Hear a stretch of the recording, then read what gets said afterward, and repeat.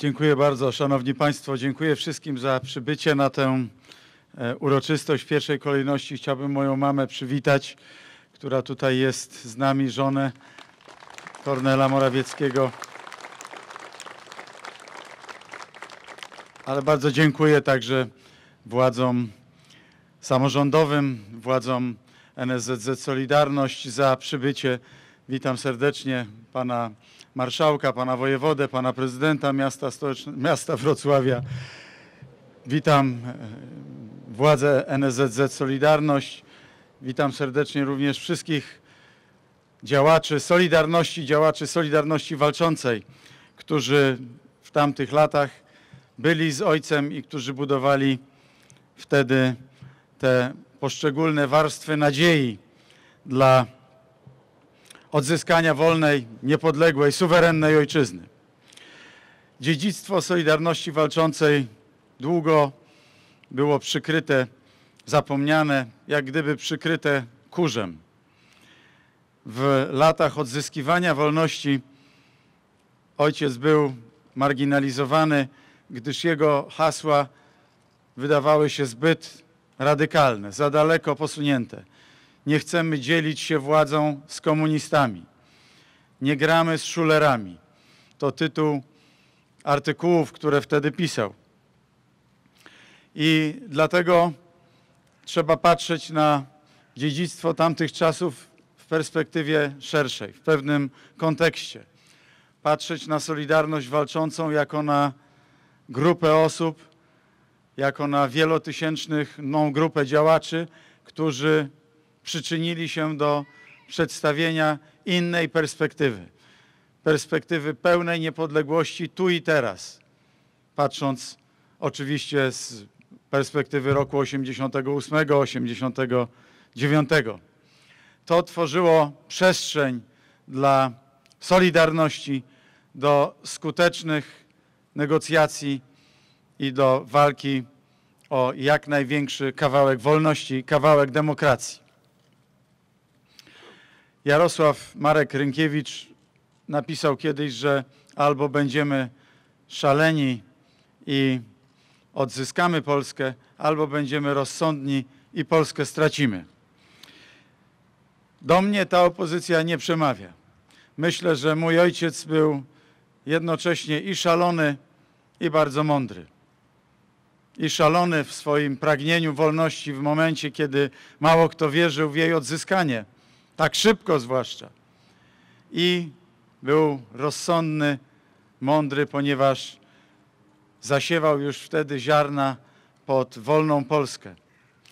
Zasiewał ziarna, bo o ile lata komuny 70., 80., zaczął w 68 od namalowania na dworcach, na trasie przejazdu wojsk Układu Warszawskiego do Pragi swastyki i sierpa i młota ze znakiem równości i z napisem ręce precz od Czechosłowacji. O tyle jednak później, w latach wolnej Polski, dążył do pojednania. I to nie do zmowy ponad głowami narodu, zmowy jakichś samozwańczych elit, ale do autentycznego pojednania. I ta myśl przyświecała jemu do ostatnich lat, do ostatnich lat, w których także mógł aktywnie uczestniczyć w życiu publicznym i robił to, robił to bardzo skutecznie.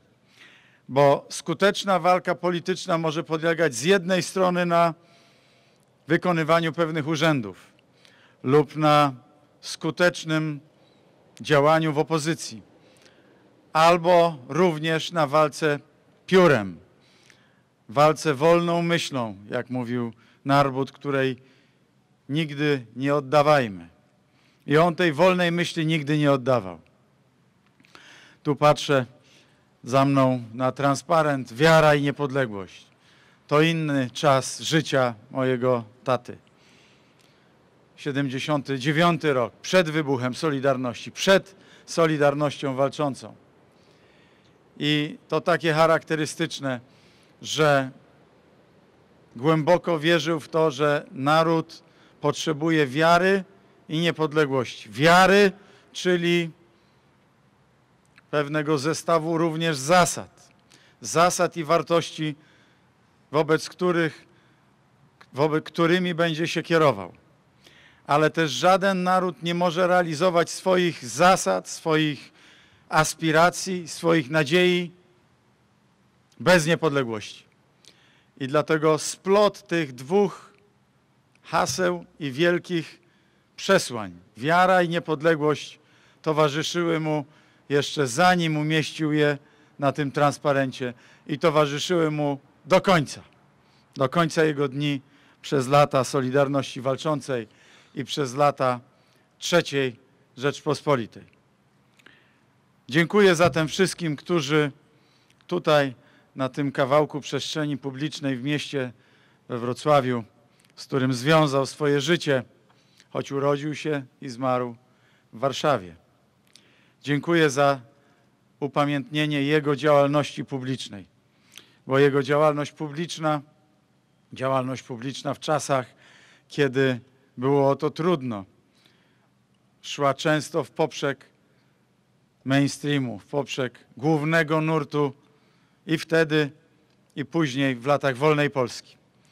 Ale dlatego ta spuścizna, dziedzictwo Solidarności Walczącej, Kornela Morawieckiego jest tak bogata i tak głęboka.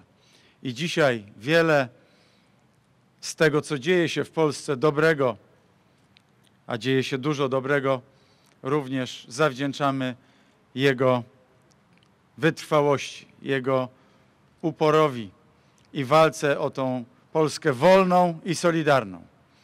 Walkę o wiarę i o niepodległość. I w takiej Polsce dzisiaj żyjemy. I dlatego trzeba Jego dzieło upamiętniać, również poprzez obecność Jego imienia w przestrzeni publicznej. Dlatego dziękuję Panu Prezydentowi, NSZZ Solidarność, Związkowi, który pokochał, któremu poświęcił swoje życie i idei Solidarności, której poświęcił życie.